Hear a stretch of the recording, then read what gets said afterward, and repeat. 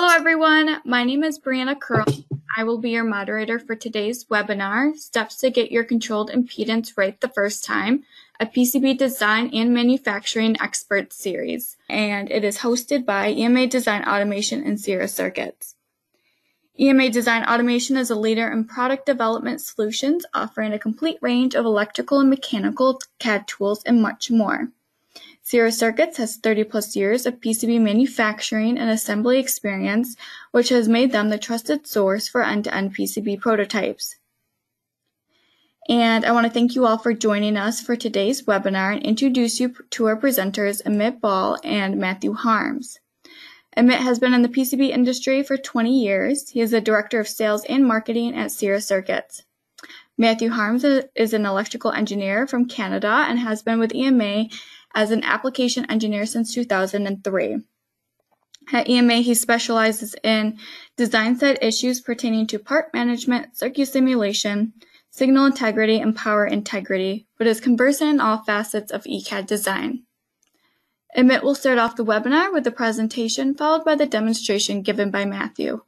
Assuming we have time at the end, we will field some questions in a formal Q&A. So thank you for your attention, and now over to you, Amit. Uh, thanks, Brianna.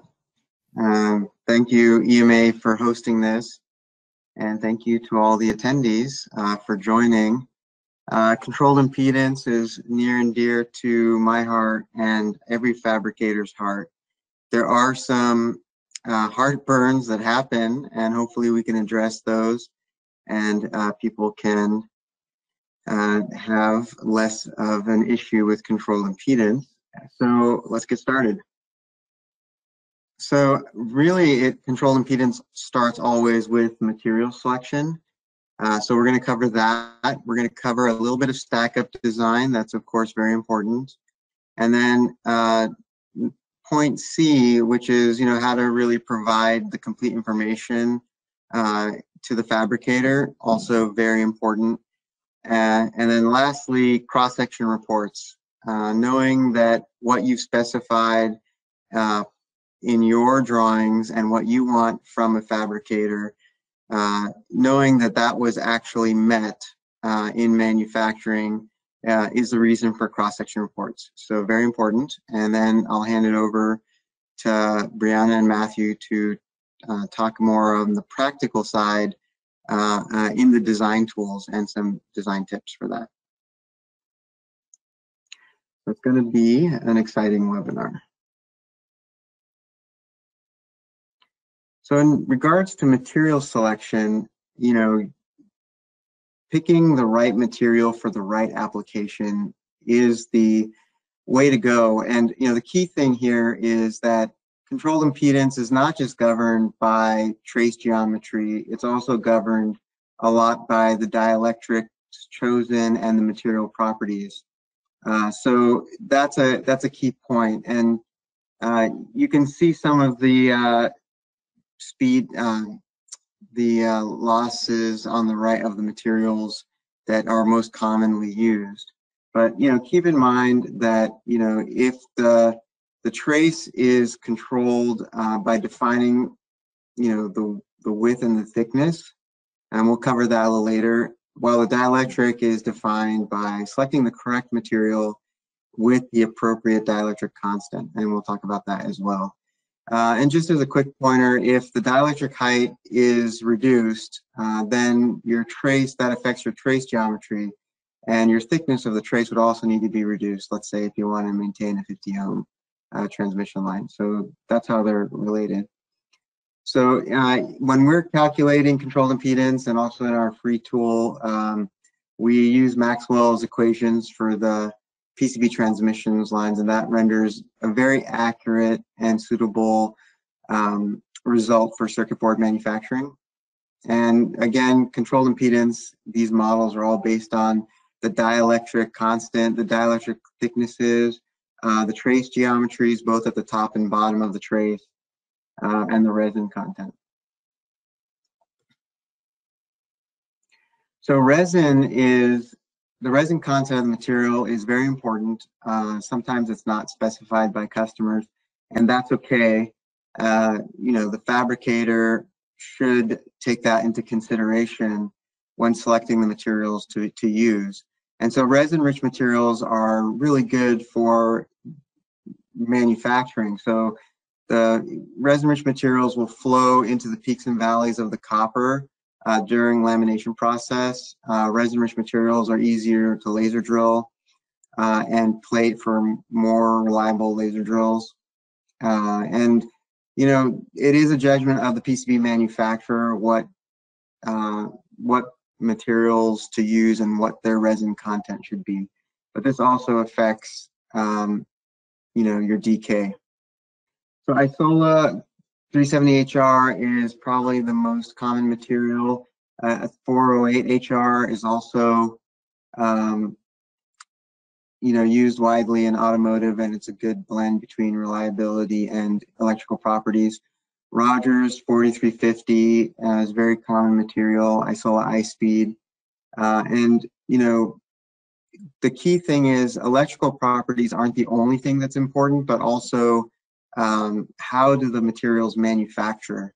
So that's a key point. Um, Panasonic has always made the Megtron series, which has been very, very popular, but now there's lots of materials that compete with Panasonic in those ranges um, and, you know, are, are equivalent uh, in a lot of ways.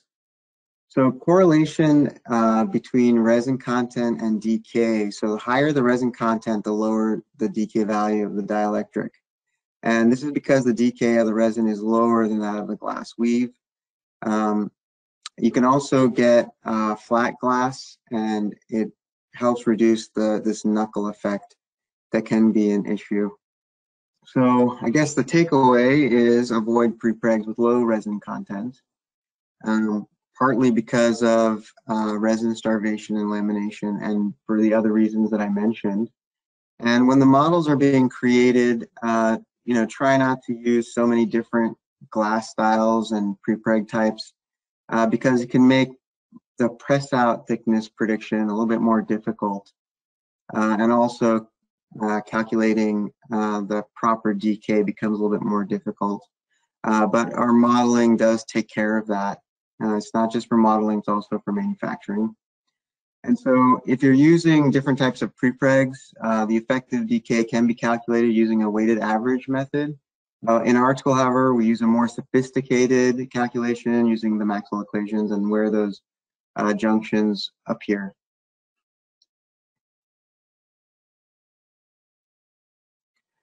So trace width geometry as it uh, pertains to copper weights uh, is really important.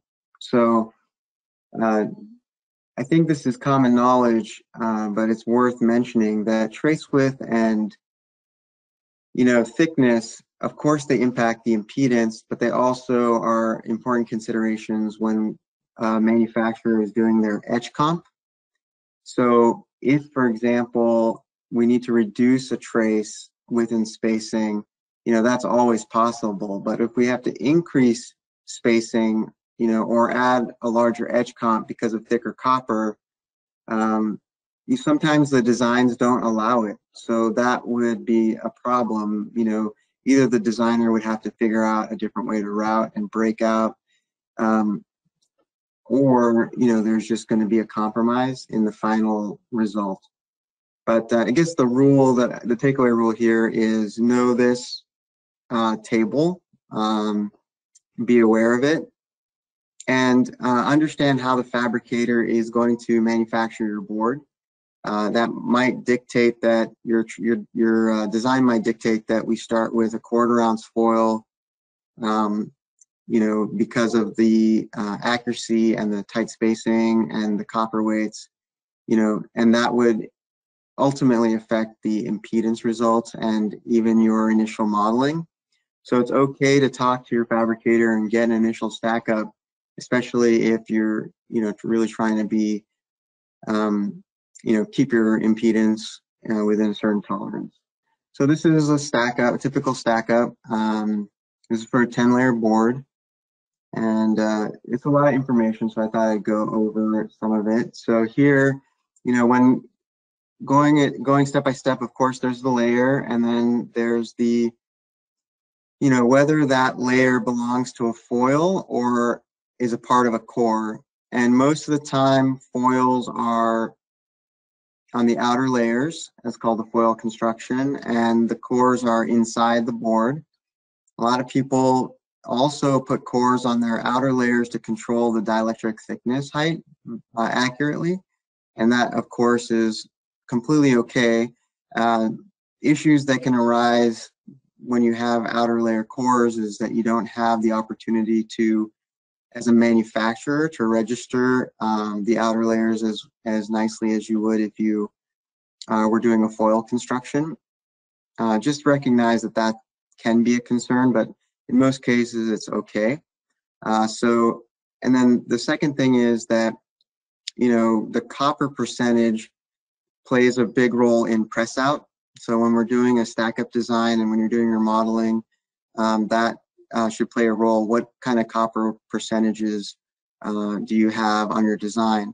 And, and that also um, is why most manufacturers will, will tell you something at the quote stage and then when you send in your design, they make you modify things or tell you they want to modify things. It's because they have a more accurate model because they now have the complete design and they know the uh, exact uh, copper percentages per layer. And then also in this is, you know, what is the dielectric thicknesses and what are the foils that you start with and how much are you going to plate? And that's what I alluded to earlier that know from your manufacturer what are the plated layers. Um, if you have buildup, if you have sublams, you know, you need to know uh, what are the copper foils that are being started with, and then what would the plating be, and then if there's, let's say, a VN pad as well, you know, there's multiple plating steps. So, you know, what the target final finish plating uh, should be, uh, should and could be, should be really understood between you and the manufacturer as you're doing your modeling. So um, in providing uh, complete impedance requirements, uh, you know, it's the material type, it's the copper weights, um, you know, if you have specific DFDK requirements, you can let the fabricator know and they would probably pick the material they're the most comfortable using. Uh, and that's also okay. Uh, and then, you know, you want to specify exactly what layer you have your controlled impedance traces on. Uh, and you want to specify your reference layers. All of that should be extremely well detailed in your uh, fabrication drawing. Now, in terms of controlled impedance tolerances, 10% is normal, and five, and you can request 5% if you need it. I wouldn't ask for 5% if you don't need it because you're not sure if the fabricator is going to give you within 10% or not. That just makes everything a whole lot difficult for everybody because if you say 5%, we're going to aim for 5%. And, you know, that's, um, we might require a first article uh, in the, on the manufacturing floor where we run the few panels through uh, lamination, you know, and measure the press out thicknesses and make sure that everything you know, all the things that we plan for at the beginning actually turn out to be correct. Uh, and first articles, most of the time we charge that back to the customer. Um, so in my opinion, you should only specify 5% impedance tolerance if you absolutely need it. Otherwise, trust your fabricator to meet a 10% uh, tolerance. So this is some quick examples of how uh, you can put this on your fabrication drawing. These are some notes uh, that you can reference. Um, you know, one trick is that you want to make your impedance traces slightly different so it's easier to find in our cam step. So if your trace width is supposed to be 4.75, um, if you make it 4. Point, let's say 76 or 4.8, then it's easier to kind of like highlight all those uh, traces during uh, our edits. So where the cam operator is more aware. So I like that trick and I think it makes everyone's life a little easier. In terms of uh, cross-section reports, so there's two things. There's the impedance test coupons and then there's the cross-section coupons. Uh, impedance test coupons are manufactured on the same panel um, with uh, the rest of the boards, and the, the coupon is modeled after your impedance requirements. So trace width, copper weights, etc., uh, dielectric heights. So the coupons are what is tested and not the bare board. If you do have a requirement that the actual board should be tested, you know, that's a special requirement you'd have to ask the fabricator, you'd have to ask us, but we do have the equipment to do that uh, on the critical nets. Um, but normally it's just a basic TDR test. And you want to make sure your TDR machine is calibrated often uh, and maybe even ask the fabricator the last date it was calibrated. Um, even if you're not doing a full audit of the facility, just so you know that you know the information that you're getting is accurate uh, in terms of the impedance reports. Other customers I've seen put coupons per board. Uh, it does eat up panel spacing, so it's going to cost more. Uh, but if the board is that critical, uh, then it might make sense to do that. Uh, cross section uh, we do in our uh, cross section lab. So here's a quick uh, shot of that. And so a cross section lab in a fabricator is for us especially, we rely heavily on the expertise and this and this work because it tells us in process how we're doing and if something isn't correct, God forbid, if the press out wasn't what we expected, or uh, if there's not enough copper plating on the surface and in the hole, you know, any of those things, we'd like to catch it as early on as possible and not to fix it per se, but to not lose time uh, in our manufacturing process uh, and not cause any heartache to our customers. So we perform an extraordinary amount of in-process uh, checks. Uh, and that basically means you're punching out either a part of the board, the critical part of the board, sacrificing a board, or you're just punching out an in-process coupon. And you're measuring the dielectric heights, the press out thicknesses, you know, making sure there's good flow of the dielectric. Uh, and of course, you're measuring the, if you've gone through copper plating, you know, the knee of the hole. And if you're in a class 3A scenario uh, or space, you're measuring, uh, you know, the wicking and uh, the other additional requirements. So in process, cross-section reports are super important. And then at the end, if you're, especially if you're ordering controlled impedance, but it's a class two board, you should still ask for, you know, your puck. Uh, you should still ask for, uh, just, you should definitely get your reports uh, to see that everything's kind of in line. And if you need help reading the report to understand what you're looking at, um, you know, please definitely get in touch with your fabricator. You can call us, of course, and we can explain everything that you know shows up on that cross-section report. Uh, very important. So here's uh, some quick measurements, uh, quick examples, uh, where you can see, uh, you know, what kind of measurements you can get. Uh, looking at this, I think this is kind of like a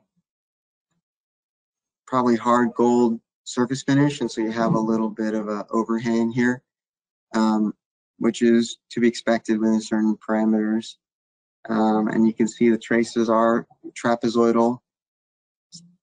And you can, you know, make sure that how does this kind of equal the model that you started with and, you know, what kind of results are you getting? And control impedance is definitely an iterative process and you should rely on your fabricator to help you through that iteration and really be aligned um, sharing your results with the fabricator uh, and having the fabricator share their results, maybe tweaking etch comp, uh, maybe tweaking um, the materials, uh, dielectric materials or glass styles that are used. Those are all things that happen, can happen regularly. It's up to you, the customer, to request that dialogue and uh, have that interaction, uh, all to you know, get you, the customer, a better, a better product at the end of the day. Also in the slide deck uh, is some information for you to uh, look at on your own time, which is how to avoid some common mistakes in routing that basically that don't have to do with your characteristic impedance as much, but discontinuities uh, and how to reduce your discontinuities with your routing techniques. Uh, so those will be available in the slides. Thank you, Matt. So with that, I'm going to pass it over to Matthew so he can take over and show us our demonstration. All right, thank you, Brianna. You can see my screen? Yes. Perfect. So what I'm going to do here is I'm going to kind of show you the engineer side, what the engineer is is doing to prepare to get the to find out what the correct impedance should be, um, to design for that impedance and how how to do that, to check for it, to route for it, and what the engineer is going to do on their side just to figure this all out in the first place. So I'm going to mention to you first off Sierra's tool that they have on their website. You can log in to their site and within their portal, they have a number of designer tools here that are pretty neat. I'm going to focus on the impedance calculator, but just before I show that, I just wanted to touch on one other one. They have a trace width calculator, which I've had a number of customers ask for recently. So I thought I'd just mention that they have something like this. The question being, how wide does my trace need to be to carry a certain amount of current? And this tool will help you figure that out. Um, so great tool there that you can use for that, but we're gonna focus on the impedance calculator tool that they offer. On this tool, you can take a look at a number of different scenarios and they have calculators that Amit was saying use Maxwell's equation are very accurate and are gonna give you a very good idea of what kind of impedance you're gonna achieve with the stack up that you've chosen, the materials that you've chosen, or vice versa. If you want to achieve a certain impedance, you can play around with the types of materials you need to use, the width and the thicknesses of the, the traces and the dielectrics that you're going to have in your stack up to achieve that impedance. So a number of different calculators. I'm going to go over two very simple ones, but I do want to highlight that there are calculators for different dielectrics in the in the same kind of area. Um, normally, most calculators are just going to do a single dielectric and you might average them or something, but in this tool, you can actually specify two separate dielectric materials with different thicknesses and it'll calculate that. You can choose if your traces are coated or not coated, if they're embedded, so meaning there's dielectric above, or if they're strip line, which means there would be a conductor above and below that trace. And again, you can see from these pictures very quickly here that there's all kinds of dielectric scenarios that will work in this calculator. So some pretty neat stuff. I'm going to go with coated microstrip for a single line. You can do coated for single, differential, and they also have all kinds of coplanar, uh, coplanar scenarios that you can run through as well. Coplanar being where you have some return path on the same layer as the signal that's traveling. Um, so some neat calculators that you could do with differential pairs, with singles, and uh, with even no ground underneath at all, which is a challenging scenario to figure out if you're ever in that situation. I'm going to go with some of the simpler ones, um, but again, note that there are some more complex ones that you can play around with. So first I'll do uh, single-ended with, uh, with coated microstrip. And what you're going to do here is you're just going to enter a bunch of information. And since this is not that exciting, I've entered it already beforehand and uh, specified my height and my dielectric constants. Notice that if you don't exactly know what ER1 means, you can see it over here in the graph, and it's the dielectric constant of this material here between your plane and your trace. You can specify your width. You can specify your uh, your delta W, which is going to make for you the tapering that you see on this trace, which is something neat that this tool supports as well. So it does support modeling that tapered trace and the effect that that's going to have by that trace being tapered as opposed to perfectly rectangular. you can specify your thickness, your coating heights, and at the end of this, it's going to, you can hit the calculate button here. It's going to tell you what your impedance is going to be. So just for demonstration's sake, I'm going to change this to 5, and we should see the impedance here change down to 46 from 49 where it was. If we do want 50 ohms, we can enter 50 ohms here, and uh, then you can calculate what the other ones are as well. So uh, in my case, I'm going to go back here to 4.25. I'm going to calculate that, and that gives me that gives me a number quite close to uh, to the 49, or sorry, the 50 that I was looking for. So 49.622 is what I have here for an impedance. And maybe this is the stack up I'm going to go with, the width that I'm going to go with, and uh, I want to use that. You can also see some uh, some interesting numbers here telling you your uh, your propagation delay per inch, your inductance per inch, your capacitance per inch, and your effective dielectric constant as well. Uh, there's a bunch of material selections that you can do down here. So if you want to play around with some of the materials that Amit was talking about, you can check them out here and see what their resin contents are. You can see what the dielectric constants would be for those materials so that you can plug them into here. All right. Uh, this is the single-ended. You can also do, I have one here for differential as well, so you can play around with differential.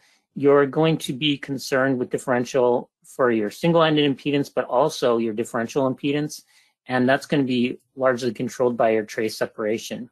So in this case, I have the the same stack up information as I did for the single. I brought it over here to the differential, and I want to figure out what my spacing needs to be to achieve 90 ohms.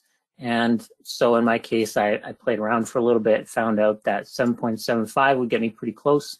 And as Amit said, it might not be a bad idea for his sake to make it 7.77. If you want to be very specific, it helps them in their tooling to get that uh, a little bit more precise. So feel free to do that.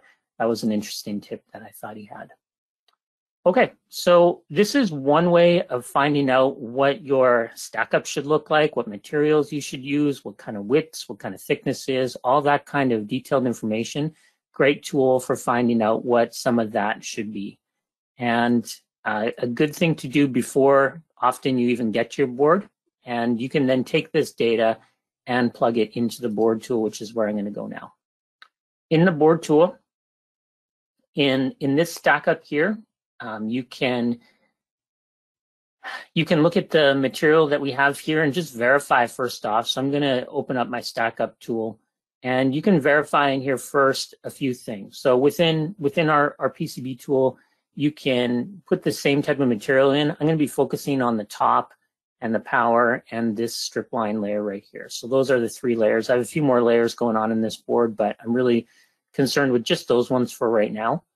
And uh, the thickness of these uh, of these materials are specified here, and those are going to match what I'd put into the Sierra calculator as well.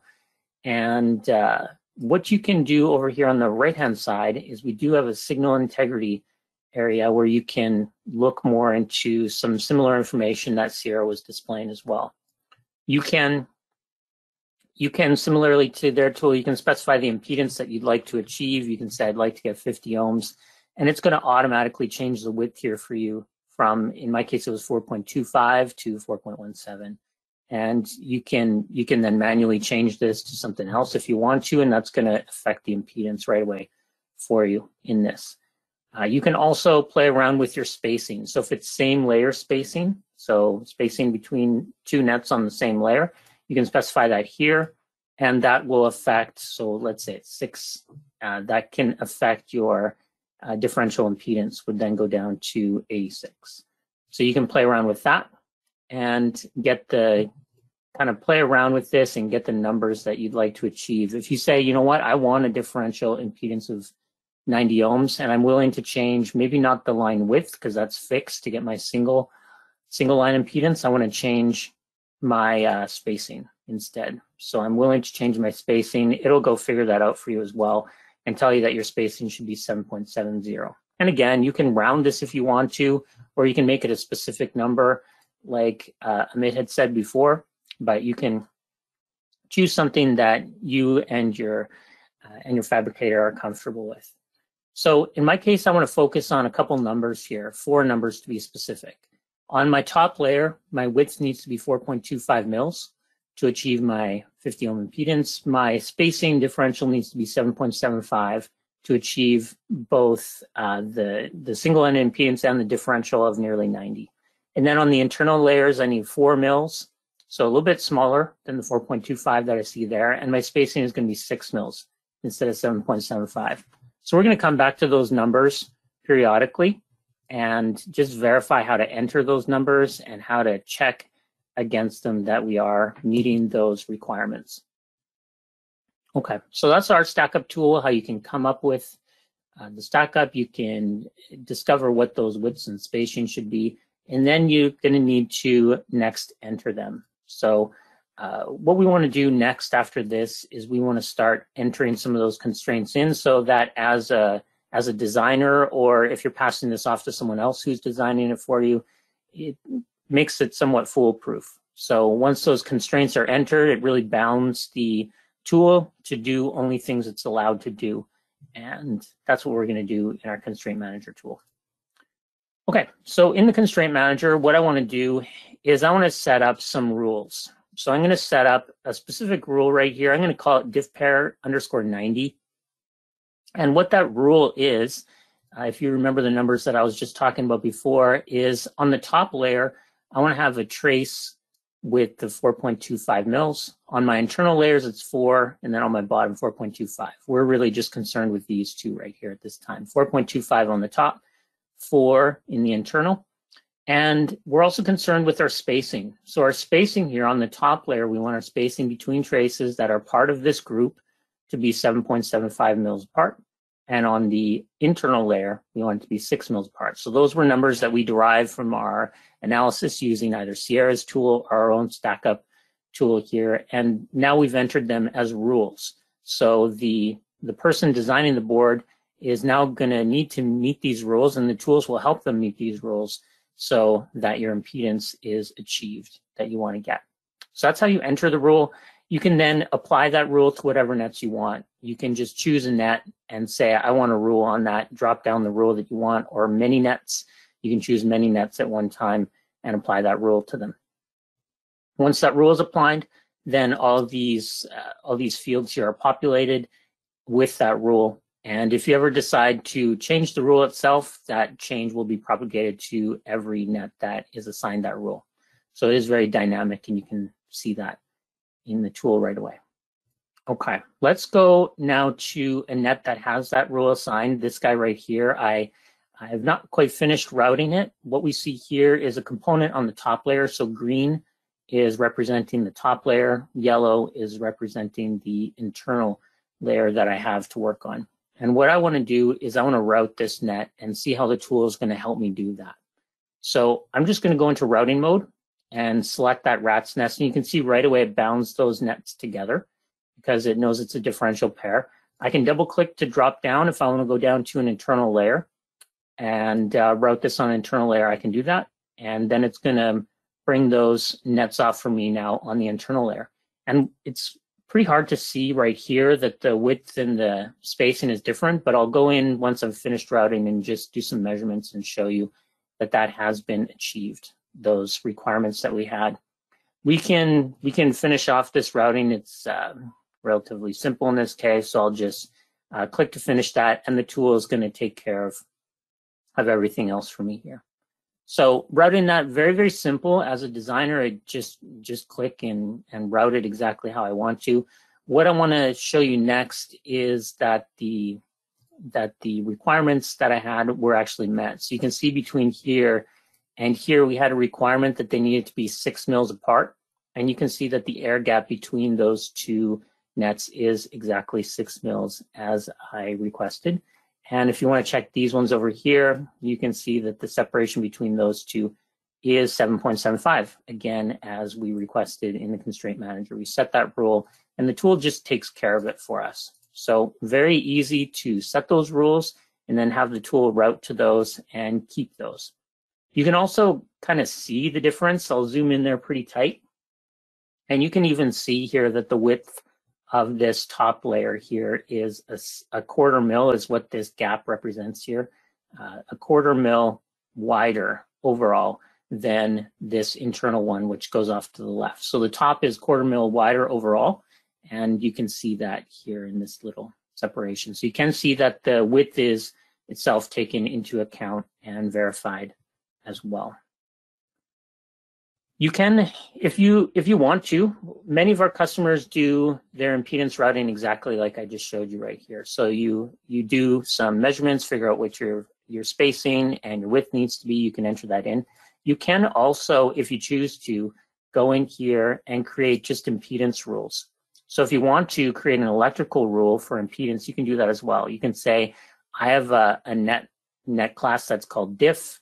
It has a 50 ohm impedance rule, a 2% tolerance, and you can then go through and just assign that to different nets as well too. So you can assign that diff, diff impedance rule to these nets, and ultimately this is going to do pretty much the same thing.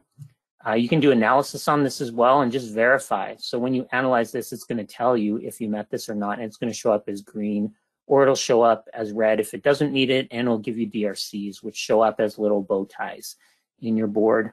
If you do have a problem, they'll also show up down here in your DRC window. So you can also use this impedance and specify it just as a number. And as it goes from layer to layer, it'll change the width automatically to achieve the impedance that you want. So that is certainly another option as well. Okay, uh, another way of checking this. So we have, we're going to move on to checking. We have, we have a few ways of checking. I checked it manually using the measure, which you can do. Uh, another way of checking that is you can go to display parasitics for this and you can take a look at this net and you can see a couple things about it. So you can see that the impedance for that is 50 ohms as we designed and the differential impedance for that is 90 ohms, again, as we designed. And you can see some other information here in this parasitic window. And again, on this one, you'll see the similar thing. So the impedance is correct as we designed, and the differential is, in, is correct on both the top and the internal layers. So a number of way of ways of checking. Uh, in honesty, my favorite checker is this one here that I'm going to show you next. So you can go to uh, the workflow manager, and in the workflow manager, you can do impedance analysis. In my case, I'm going to select a number of nets. So I'll select these nets right here. And I actually have some nets that I want to analyze up here as well too. So I'm going to select these guys as well. And I'm going to hit OK and I want to start analysis. So I'm doing impedance analysis. I've selected the nets I want to analyze. You could just as well do the whole board if you want to. And I'm going to hit start analysis. This takes only a few seconds to run. So it's running analysis of the impedance of those traces, and it's going to display it to us in what I consider to be a very, very interesting fashion. So it's going to actually show it as an overlay that you can see right on top of the board to see exactly how you're doing. So that's finished now at this point. Just takes a few seconds in this case to run. And I want to view my impedance visions. So I'm going to jump right to the visions here. And this might not show perfectly well, but you can see that everything here is dark blue. So the color is representing what the impedance of that net is. So you don't need to go probe everything. You can just see it at a glance. Uh, you can hover over this and see what that impedance is as well. The tech tip is going to show you what that is there. And this legend over here on the side is also going to show you. So you can see I'm getting very good impedance everywhere along this length. It's really rock solid. Let's move up here to these nets that I've routed as well. And you can see again, they're doing very well. The impedance is, is excellent for these nets with a small exception. So I am getting an exception here where in this range, I'm getting some red blips where my impedance is skyrocketing up to nearly 95. And the reason for that, this might be obvious to some of you, but some of you not. Uh, the reason for that is because I do have this plane layer here that has a gap in it.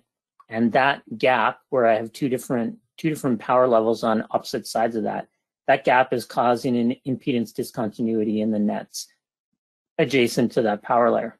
So you do want to be very careful with your splits as they'll cause impedance issues like the one that we're seeing here. And if these traces were critical, you probably want to move that split somewhere else. Um, but what's really nice about this is that it's bringing something like this to your attention very easily. And things like this are very easily missed or just not quite paid enough attention to, and they can cause issues later on. But with a tool like this, it's it's very easy to spot these these relatively common issues very easily. You can also view your differential impedance. So I'll just drop this down to differential. And you can see again, the colors are quite similar. So we're getting similar color all the way along. You can see as we kind of bump out here to match our phase between the two nets, you see that there's going to be some differential uh, discrepancies there. So we're going to get a slightly different, different differential impedance at those points, which is to be expected. And as I come here as well, you're going to get some changes. So as I pop to a different layer, you can see my differential impedance is going down to in the high 70s. And here it's up to the mid 90s. So we're getting some different differential impedances and you can from here gather if that's going to be uh, a large enough problem for you or if you're okay with it. These nets I eroded here are are altogether quite quite well done and quite safe. So we weren't pushed too hard. We didn't have too many restrictions. So those are meeting our requirements there pretty clearly. So uh, that's everything I had to show you. Just kind of wanted to talk to you about how you can create impedance rules and how you can determine what they are in the physical world here, how you can apply those rules at the constraint level, and then how you can check against them in multiple, multiple different ways of checking to ensure that you've met your impedances. So at this point, I'll pass it back to Brianna, and then we have some Q&A. Thank you, Matthew. And with that, let's go into the Q&A. So our first question is, should the trace width for the same copper thickness lower in the inner layer traces than on the outer layer, assuming that the two traces are carrying the same current? Yeah. That was a lot of work. I didn't quite totally follow it. So, should the trace width for the same copper thickness be smaller on the inner layer traces than on the outer layer, assuming that the trace traces are carrying the same current? Okay, so a couple things I'll point out if I got the question right. I may have missed it, and I can correct anything I might get wrong.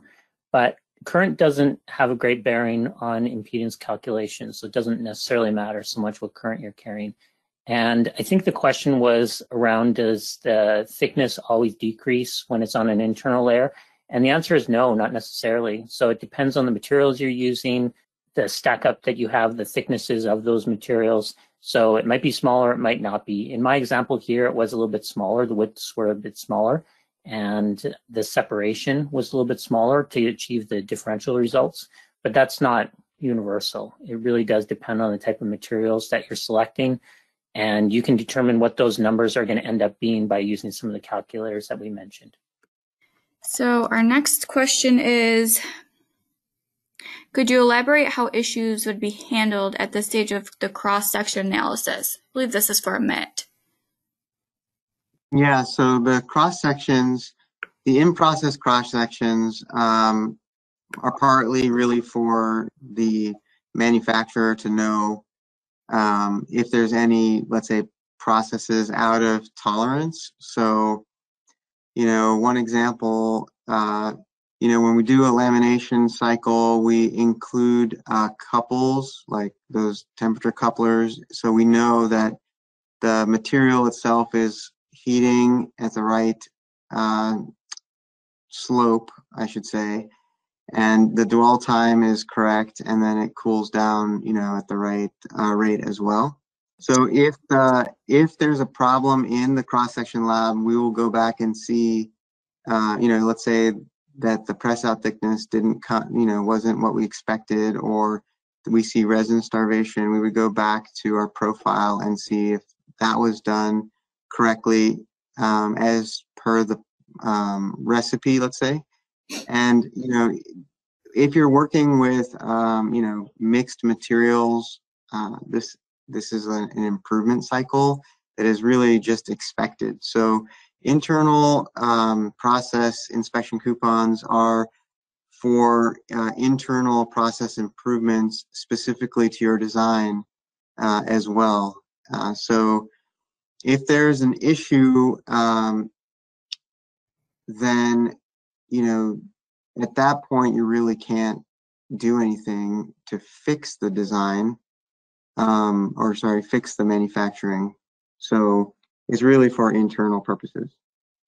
Thank you. So our next question is, is thickness as defined in the materials table the final pressed thickness? Um, all material, all kind of all the things that you do in a PCB design should be final. Like your, what is your final hole hole wall that you want, the whole thickness? Um, you know, what is the finish thickness that you want of your PCB? What is the finish thickness between the layers? Yeah, it's pretty much, I can't think of a, an example where you don't want to mention the finished result. Everything is pretty much always the finished result.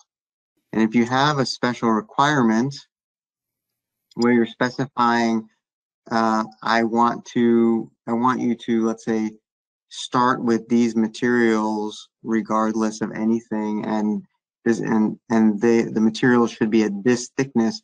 You know, you're kind of creeping into what a PCB manufacturer does, and you should really have a conversation with them uh, to make sure they don't misunderstand what you're asking for.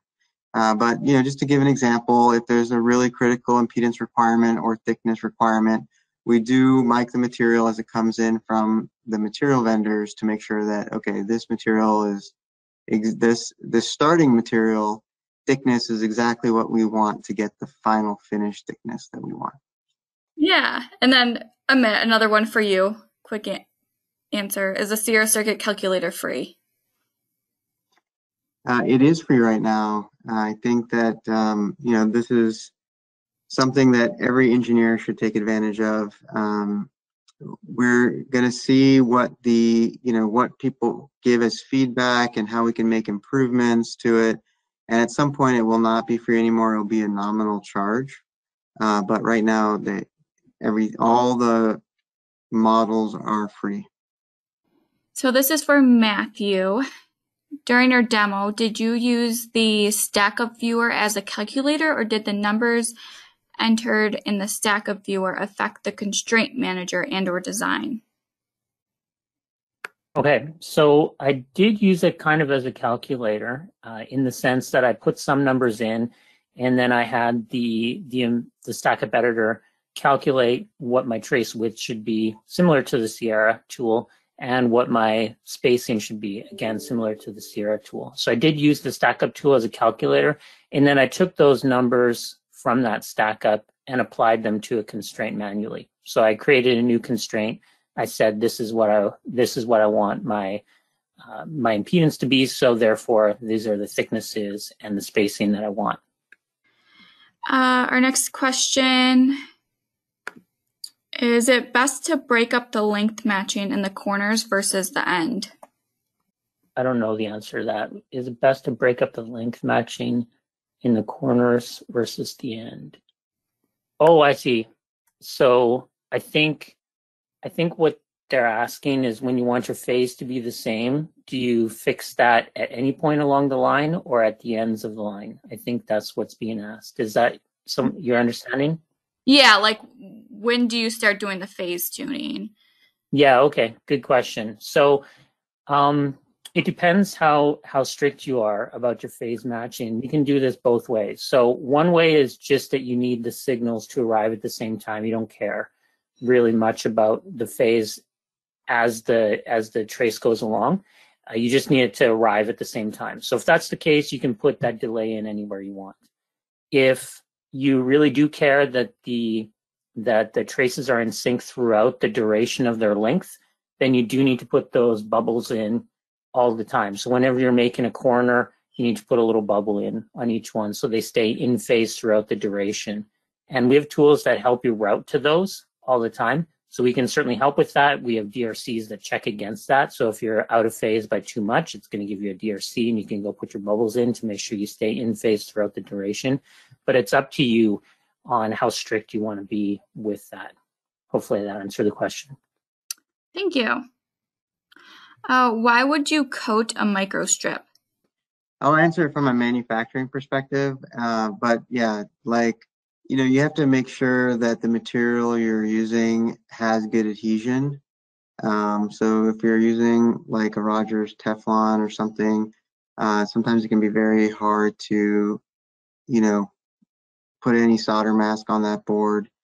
Um, and, you know, impedance, characteristic impedance does change after solder mask. Uh, so, you know, those are things that a fabricator needs to, you know, take into account and maybe discuss with you, um, uh, you know, at the at the beginning.